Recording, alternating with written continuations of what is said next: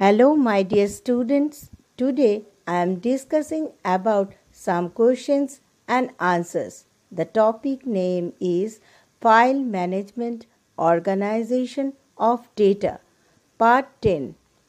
The next slide is about some questions and answers. Question number 2. Name the different components of a Windows 7 desktop. Answer The different components of a Windows 7 desktop are as follows. Number A Icons, Number B Gadgets, Number C Start menu, Number D Live thumbnail views, Number E Notification area, Number F Show desktop. Number 3 Write short notes on. Number A Aero Snap, number B Aero Flip 3D. Answer number A Aero Snap. This option helps to arrange two windows horizontally or vertically for better comparison.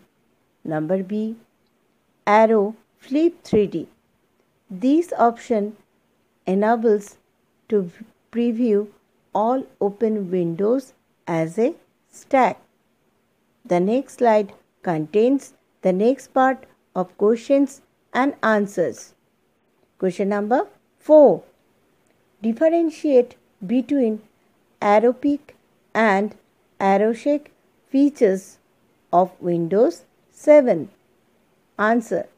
The difference between Peek and Aero Shake features of Windows 7 are as follows. Peek. This feature helps to view the desktop and its gadgets, making all other open windows transparent. Aero Shake. This feature helps to minimize all active windows except the one currently in use. Question number 5. Which is only compulsory icon on the desktop? Answer. Recycle bin is only compulsory icon on the desktop. The next slide contains the next part of questions and answers. Question number 6. Write the steps to access the drives in the computer. Answer To access the drives in the computer, the steps are as follows. Number 1.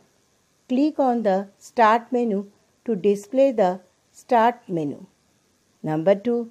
Click Computer in the pan to view all the drives and hardware currently connected to the system. Question number 7 briefly explain how the hierarchy of folders and files is important. Answer The Windows Explorer illustrates the hierarchical arrangement of files, folders, drives, and network drives on a computer. It can be used to copy, move, rename, and search for files and folders. The next slide contains the next part of questions and answers. Question number 8. Define file folder and a subfolder. How can you create a new folder? Answer. File. Files are the documents saved on a computer for future reference and use. Folder. Folder is a container for files any number of folders can be created. A folder can also contain other folders. Subfolder A folder can also contain other folders.